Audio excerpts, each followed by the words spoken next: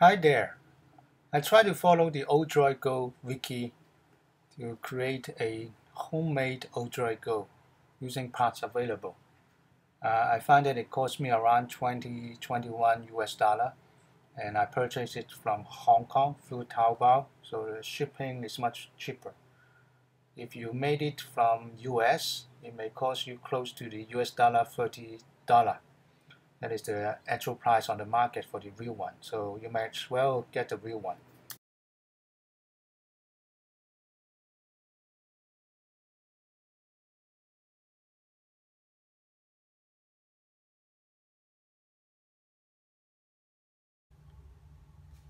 Hi there.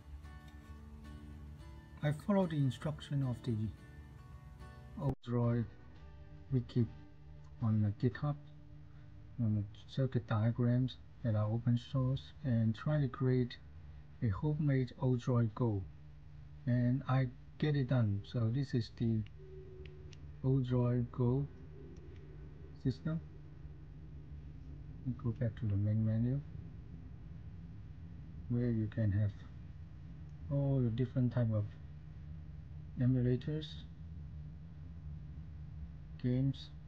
If you select one of them you can load up your favorite emulator.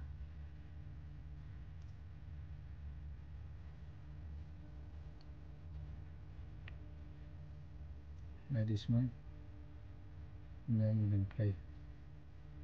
Shut down the lights.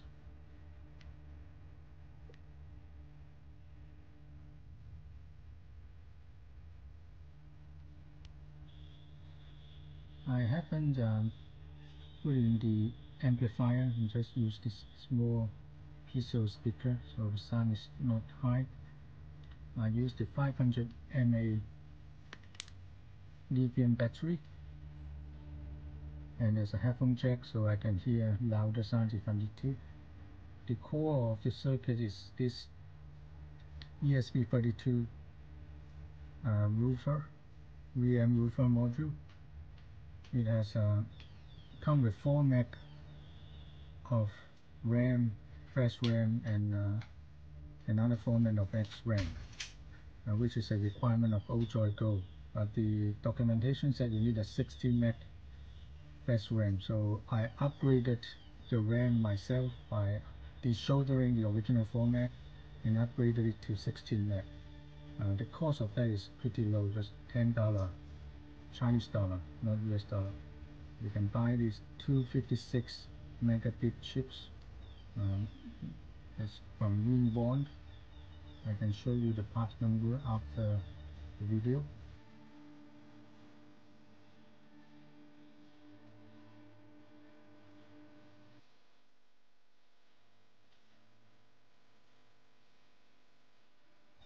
Then you can just take out the original one, desolder it or just cut the, the legs out and then put it on top and solder it back. So this um, M Wrover module from China has got an SD card, not SD card, it's a TF flash card slot, but uh, it's tied to some different pins, which is different than the Odroid Gold schematics so I can't use that one I have to use the ones that come in with um, the 2.2 inch TFT display. So there's one bigger SD flash RAM slot here which is quite big. And there are some 5 pins there. So I just showed that these 5 pins according to the specification of Odroid Go to the the pins in the documentation. For the uh, TFT LED, I just solder all the pins according to the specification.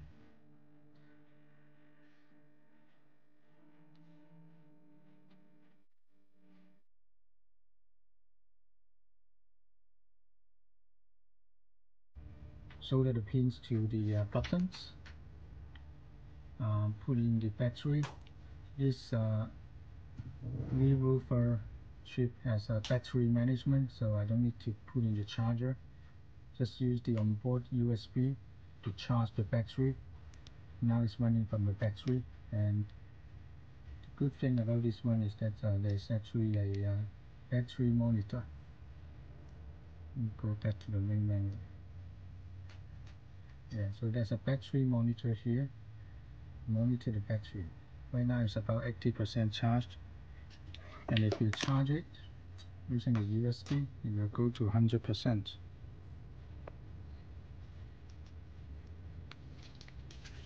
so this is the interface the I put a power button here headphone jack and USB ports. So now the battery is being charged and momentarily is showing uh, full 100% battery but that's uh, really not true because it's powered by the USB and then let me show you another Game Boy game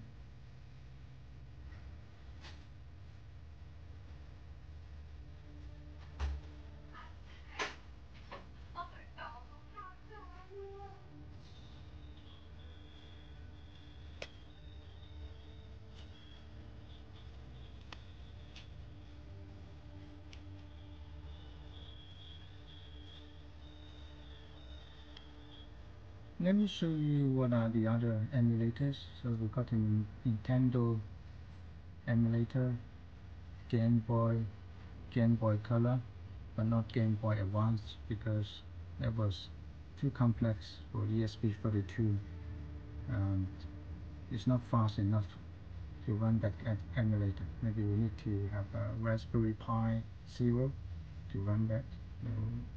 For Game Boy only stopped at Game Boy Color no more advanced. Then you have this Sega Master System, uh, Game Gear. Uh, this one I don't know what it is. It's not used in Asia. Uh, I think there is also Atari, Atari Maker. Yeah. So let me show you the Game Boy one press the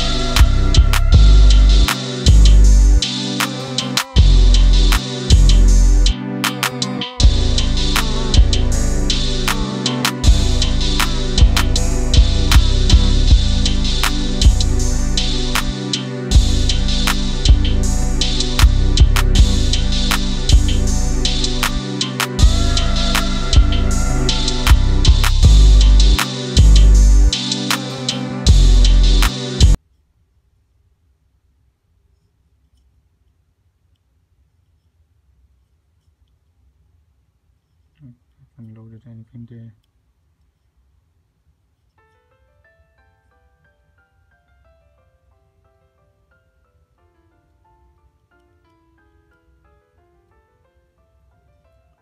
Space Invader.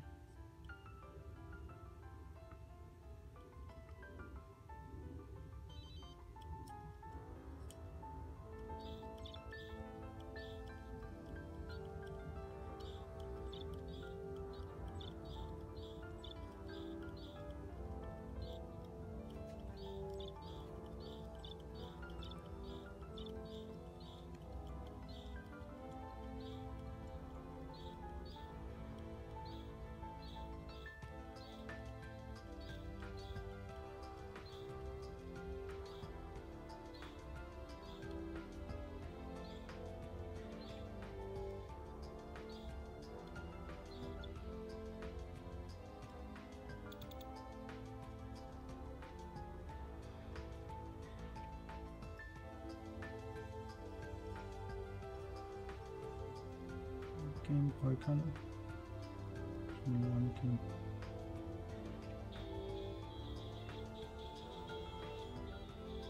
Pokemon.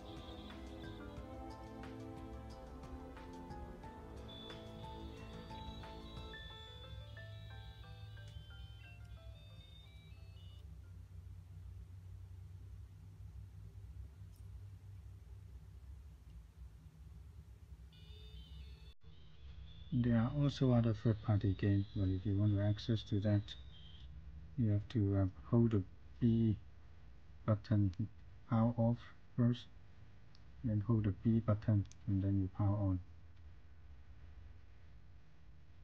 Then you see this third-party software. The other emulator, even older, Atari emulator. Uh,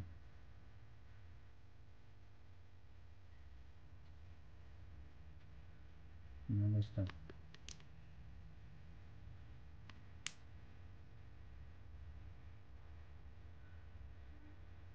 You can even play two.